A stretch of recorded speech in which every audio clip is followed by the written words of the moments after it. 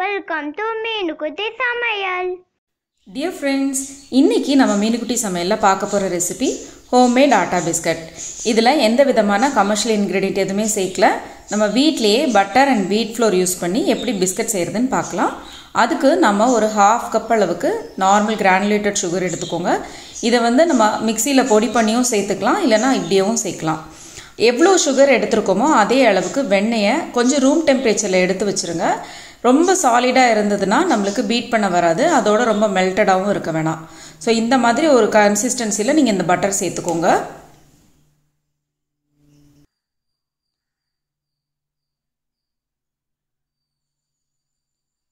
இப்போ வெண்ணெய் சேர்த்ததுக்கப்புறமா இதை நம்ம சுகரோடு சேர்த்து நல்லா பீட் பண்ணிக்கலாம். சுகர் வந்து நீங்கள் பவுடராக சேர்த்திங்கன்னா இன்னும் ஈஸியாக இருக்கும். ட்ரை பண்ணி பாருங்கள் அப்புறமா நம்ம வந்து ஸ்பூனால் நல்லா மிக்ஸ் பண்ணினதுக்கப்புறமா ஒரு ஹேண்ட் பீட்டரோ இல்லைனா எலக்ட்ரிக்கல் பீட்டரோ யூஸ் பண்ணி நல்லா ஒரு க்ரீமியாக வர அளவுக்கு பீட் பண்ணிக்கோங்க.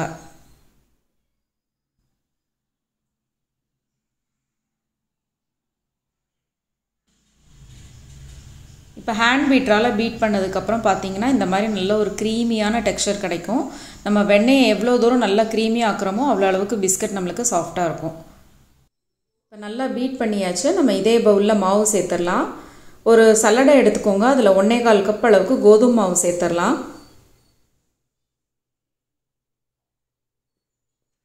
இப்போ ஒரு டீஸ்பூன் ஆஃப் பேக்கிங் பவுடர்.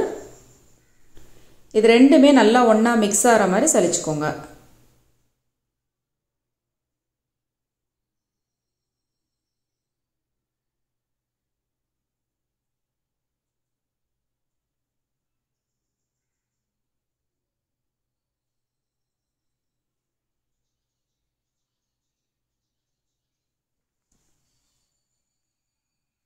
இப்போ இதில் வந்து ஒரு கால் கப் அளவுக்கு நம்ம ஓட்ஸ் சேர்த்துக்கலாம். இது வந்து நம்ம நார்மலாக உள்ள ஃப்ளாட்டன் ஓட்ஸ் தான். அது கூட ஒரு கால் கப் அளவுக்கு பாலை கொஞ்சம் கொஞ்சமாக சேர்த்துட்டு ஒன்றா மிக்ஸ் பண்ணிக்கோங்க.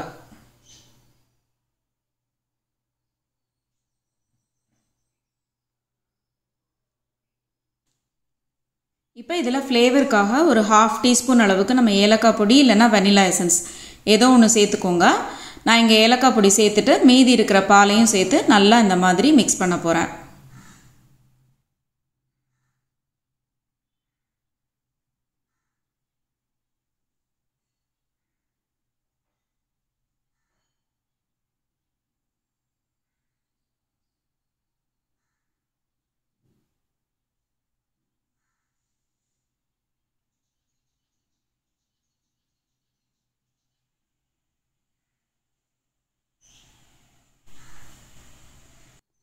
இப்போ ஓரளவுக்கு மிக்ஸ் பண்ணியாச்சு. இப்போ நம்ம கை வச்சு ரொம்ப ப்ரெஷர் கொடுக்காம லைட்டாக மிக்ஸ் பண்ணிக்கோங்க.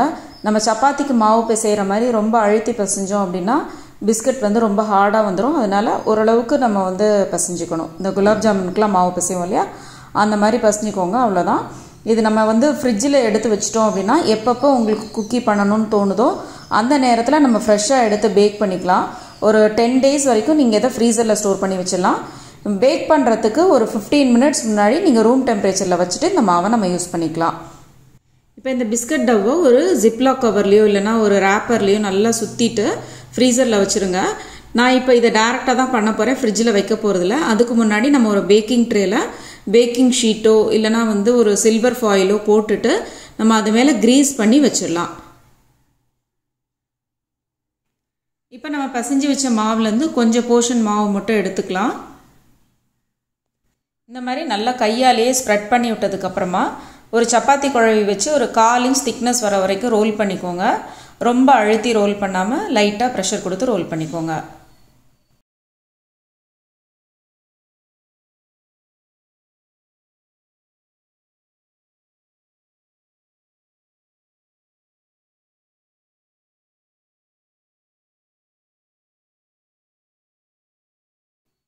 இப்போ ஒரு பிஸ்கட் கட்டர் இல்லைனா இந்த மாதிரி மூடியை வச்சு உங்களுக்கு பிடிச்ச ஷேப்பில் நீங்கள் கட் பண்ணிக்கலாம்.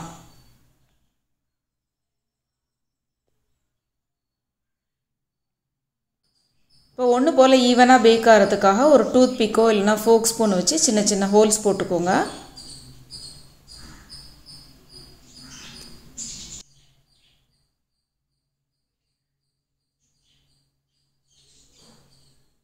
இதை அப்படியே நம்ம பேக்கிங் ட்ரேயில் எடுத்து வச்சிடலாம். கொஞ்சமாக நீங்கள் வந்து சுகரை இது மேலே ஸ்ப்ரிங்கிள் பண்ணி விட்டோன்னா இன்னும் கொஞ்சம் நல்லா டேஸ்ட் அதிகமாக இருக்கும். இப்போ இதை ஒரு ப்ரீ ஹீட்டட் அவனில் வச்சு பேக் பண்ண போகிறோம் ஓடிஜியோட temperature one fifty degree centigrade double selector அதுக்கப்புறமா ஃபிஃப்டீன் மினிட்ஸ் நான் வச்சுருக்கேன். இதையே குக்கர் இல்லைனா பேனில் நம்ம வந்து பேக் பண்ணும்போது ஒரு twenty to twenty five minutes ஆகும். பாட்டம் ப்ரௌன் ஆயிருக்கான்னு செக் பண்ணி பார்த்து நம்ம எடுத்துடலாம். இந்த பிஸ்கட்ஸ் எல்லாமே நல்லா பேக்காக இருக்குது பாட்டமும் ப்ரௌன் ஆகிருக்கு மேலே லைட்டாக சாஃப்டாக இருக்கும். இதை நம்ம ஒரு கூலிங் ரேக்கில் வச்சோம் அப்படின்னா சீக்கிரமாகவே நம்மளுக்கு பிஸ்கட்ஸ் கிறிஸ்பியாக ரெடியாக இருக்கும். ஸோ எட்ஜஸ்லாம் நல்லா கிறிஸ்பியாக இருக்குது எப்படி இருக்குன்னு டேஸ்ட் பண்ணி பார்த்துடலாம். ஸோ செம்ம கிறிஸ்பியாக டேஸ்டியாக ஒரு ஹெல்த்தியான ஆட்டா பிஸ்கட் ரெடி ஆகிடுச்சு இதை நீங்களும் உங்கள் வீட்டில் கண்டிப்பாக ட்ரை பண்ணி பார்த்துட்டு மறக்காமல் உங்கள் ஃபீட்பேக்கை கமெண்ட்ஸில் எழுதுங்க.